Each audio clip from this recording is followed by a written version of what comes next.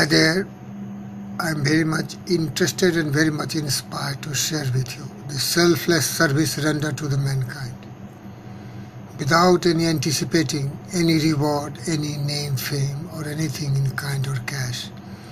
That will be the greatest wisdom of a wise man. What Vivekananda, one of the greatest monk of India, spoke about karma yoga, and here there is a part of it I want to read for you, and let's understand together the meaning and theme of it. Work for work's sake. There are some who are really the salt of the earth in every country, and who work for work's sake, who do not care for name, fame, or even for to go to the heaven. They work just because good will come of it.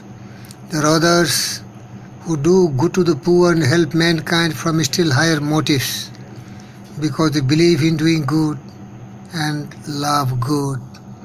The motive for name and fame seldom brings immediate results. As a rule, they come to us when we are old and have almost done with our life. If a man works without any selfish motive in view, does he not gain anything else? Yes, he gains the highest. Unselfishness is more pain. Only people not have the patience to practice it. It is more pain from the point of view of health also. Love, truth and selfishness are not merely moral figures of speech, but they form our highest ideal because in them lies such a manifestations of power. In the first place, a man who can work for five days or even five minutes without any selfish motive whatsoever, without thinking of future of heaven or punishment or anything of that kind, has in him the capacity to become a powerful moral giant. It is hard to do it, but in the heart of our hearts we know its value and the good it brings. It is the greatest manifestations of power.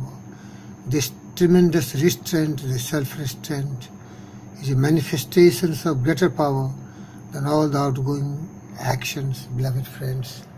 That is really the lessons we have to learn. Also, Karma Yoga, Lord Krishna said, Karmanyeva adhikaraste ma phale sukadachano ma karmphal hetu bhu mate sangosta karmani. Our noble way should be to work sincerely, without any selfish motive.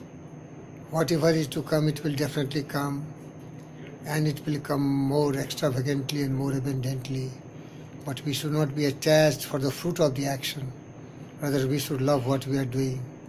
That immense love, obsession, and passion for being one of the greatest worker can make our life very meaningful and purposeful and there is immense joy and pleasure. So let's meditate upon this intensely. Let's have a burning desire that we should practice it and make it a way of life to work selflessly, without any return, without any anticipation, but be indulged in enjoying the work you did. The modern science has also proved it. Those people who love something, they really discovers, invents, and give great things to the world. Darwin loved nature and he was so much curious that he gave us that kind of philosophy which could not be known to mankind, the lane and so on and so forth. Steve Jobs loved what he did and we got so many great inventions, and discoveries. Henry Ford loved and he gave us one of the greatest self-propelled automobile who built the entire universe. Andrew Carnegie loved learning and making and helping mankind philanthropic actions. Become greatest in industrialist, philanthropist, entrepreneur. Love what you do. Love what you do. And then you will become only great. But don't work just for some petty and selfish motive that will not make you great at all. May God bless you. Thank you very much. This video will inspire you to become a better person in life.